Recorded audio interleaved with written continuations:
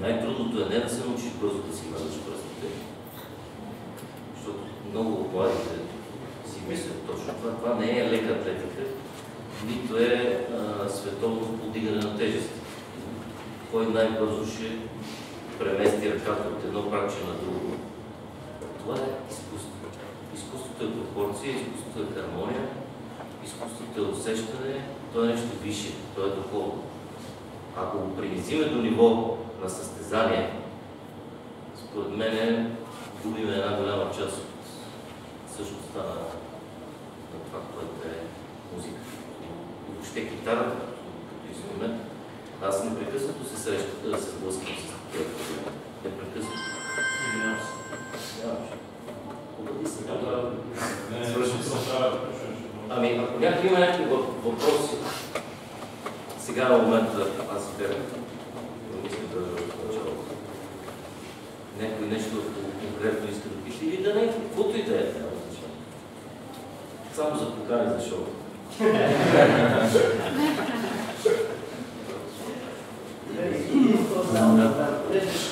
Кажи нещо на по-младите за българската музика. Имаме голям проблем с желанието да свирят българска. В смисъл, голямо проблем е, че те не искат. Че те не искат. Е българска музика. Сега ще ви кажа, които не сте били по чужбина. Те вероятно не са били по чужбина. Има една стара българска поговорка, според мен, че дърво без корен не е дърво. Аз познавам много българи, които се отиват чужбина и се срамуват да кажат откъде са. И считам, че това е една голяма, огромна грешка. Защото и да се срамуваш и да не се срамуваш. Този факт не можеш да промениш. Това е факт. Ти не можеш да си изтриеш историята. Ти си се родил от тази страна. А аз искам да кажа, че според мен тук пък имам неща, които там няма. И това съм убеден. Напълно съм убеден от това, което говоря. Ние имаме много богата емоционалност, имаме много богата история, имаме много хубави неща, които пък не е лошо те да чуят от нас. И затова смятам, че не случайно велики български композитори, като Панчо Владигеров, като Филип Кутев, като... Да давам пример, те са много дори джаз музиканти, Лючо Левиев. Разбирате ли, има, има едно нещо такова, че как ще отидеш ти в Майами и ще почнеш да показваш на Джейсън, в случая той е тромпетист, да му покажеш как се свири латино. Може да си го представите това нещо? Аз съм бил в Америка. И те се смеят, да ви кажа често. Дори да си по-добър от тях, те ще ти се смеят. Те са шугани. Именно. Ние, понеже имаме късмета с господин Стоянов, да, там това студио, дето ни измиха гостите 16 години, а, сме се срещали с какви ли не музиканти. Искам да ви кажа, че най-ценното нещо е първо ние да цениме това, което имаме. Това е на първо място. Ние не можем да ги научим тях на блуз или на...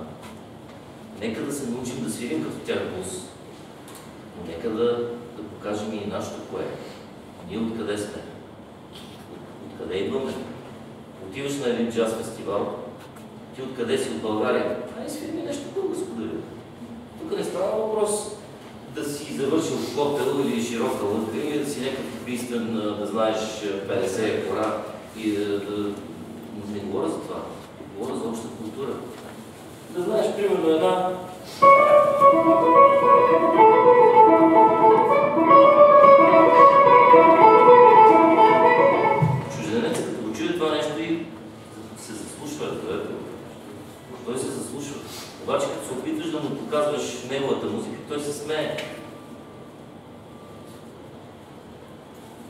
Така че, младите трябва да, да мислят в това отношение, според мен, и, и да стъпат на основата и на базата на това, което са направили преди тях, по-големите от тях.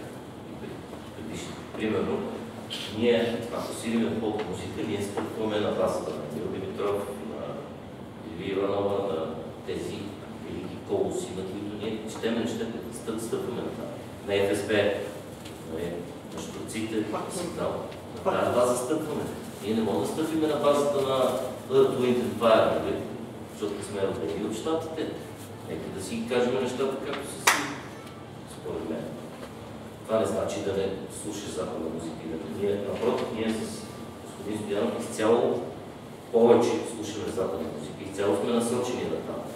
Но както виждате и това парче, което беше първото, Шора Форева имаше вътре фолклорни елементи.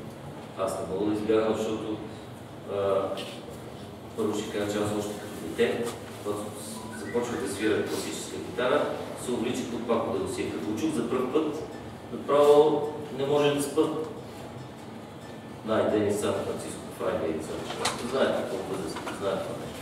Просто нямаше как да, да го пропуснеш това нещо. И затова трябва да се движи на място. Ходете по чужбина, живейте там, вземете от тях, обаче и от тук, от нашото. От тук, където сме ние, българския фолклор е огромна, огромен избор. Огромен песен. А и ние, разбира се, и по-музика, която е написана в България. Нека да не бъдем прекалено критични към себе си, защото ние много често сме правили тази грешка и се оказва, че не сме правили. Много често и чужденците харесват точно това, което ние се притесняваме. Много често. Затова, горе главата и напред.